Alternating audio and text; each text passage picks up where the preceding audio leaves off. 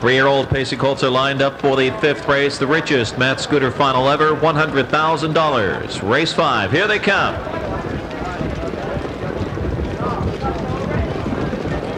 Off the gate there, Heavenly favored, and Capital Power fires up, but so does Picnic in the park.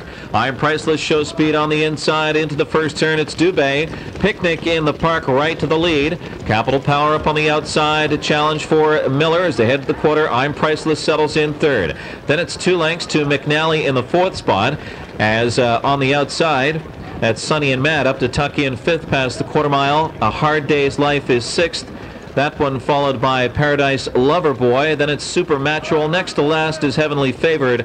And the trailer's Prime Time Hanover. 27-4 down the back stretch. The favorite Capital Power. 4 for 4 and Miller's got him up front. In control here. It's Picnic in the Park riding the two-hole with I'm Priceless third. McNally looks at it from fourth. Sonny and Matt edges to the outside. Brennan charges up with that one. A Hard Day's Life picks up the cover. Then comes Paradise Lover Boy, Supernatural, Heavenly Favored next to last, and Sonny and Matt.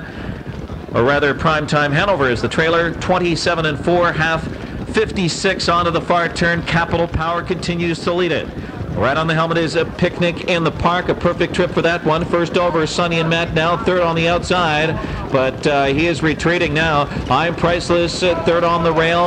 And uh, now a Hard Day's Life will be locked in on the inside. That's uh, on the outside. Paradise Loverboy and Pierce swinging three wide around the tiring Sonny and Matt over at three quarters and 124 and one. It's Capital Power put to Whip Urging, stalked all the way by Picnic in the park on the outside, and Dubé's clear and driving at him.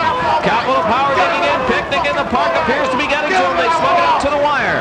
Then it's I'm Priceless and Pierce on the outside with Paradise Loverboy. Capital Power digs in. Capital Power showing guts on the outside. Paradise Loverboy. Very tight. Capital Power might have held on, but a very tight photo finish with Paradise Loverboy. 153 and 1 up photo. Well, Capital Power shows some grit and determination tonight. A $37,000 yearling purchase by owners Dina Frost and Lou Damiano at the Harrisburg sale. A late bloomer, indeed. Eligible to all the big ones, the Berry's Creek, and of course the July 14th Meadowlands Pace. Dave Miller with his fourth series final of the season so far. Capital Power, a three-year-old by the Dual Hemisphere Stallion Presidential Ball out of Candy Apple Red by Jate Lobell. Chris Ryder, the trainer, Dina Frost, Sampson Street Stables, the owners, and David Miller with Capital Power undefeated, 5 for 5, and the sweep of the Matt Scooter Series after sweeping the uh, Junior Trendsetter Series. Post time for the sixth in 15 minutes at 9:17. It's the overbid final for $150,000. Exacta trifecta pick three, six, seven, and eight. There are no changes. Race seven, scratch 10, Ribbon Man, sick. Race eight, the Su Mac Lad, scratch five, Classic Model, sick.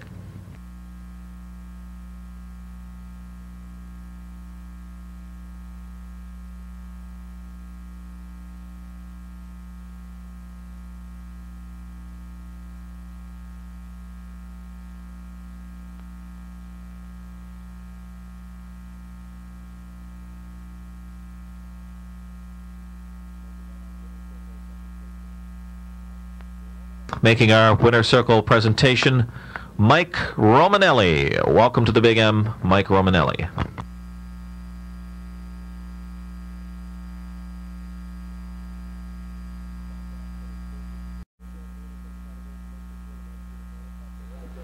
We're joined in the winner's circle by the winning connections here, the Matt Scooter Final, Capital Power. Driver Dave Miller. Dave, coming into the race, any concerns at all?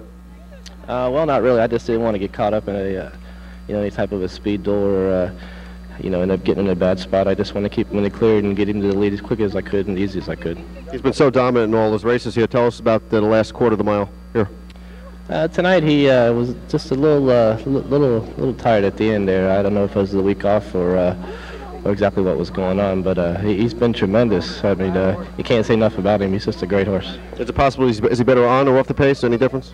It don't really make no difference. He seems to handle each way, either way just fine. Okay, trainer Chris Ryder. Chris, Has anybody said this horse might be peaking a little bit too early? He's been dominant almost every start. Now he's five for five. Uh, what, what's the story with that? Yeah, I've been told that. Uh, I have been told that. So uh, it's just got it's my job to try and get him to ba- you know, back off a little now and peak later on. What about uh, the people who see there's no races at two, as a two-year-old? What was the reason for that? Yeah, he um, you know he just wasn't doing things right as a two-year-old, and we just decided to leave him alone until now. You know, to try and make him bring him back in the winter time here, and and he's just come along super. So. Okay, what about uh, take us into the deep stretch here? You're watching the race. What were you thinking there in the final 100 yards?